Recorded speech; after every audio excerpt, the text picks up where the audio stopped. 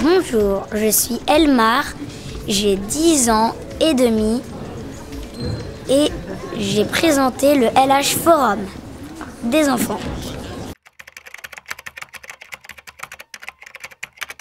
Le message de passer au grand, c'est que toute la pollution qu'on fait, tout ça, tout, qu'on se moque des autres, qu'on ne respecte pas les autres, bah la prochaine fois, faut vraiment changer tout ça, faire attention de, de quoi on jette par terre.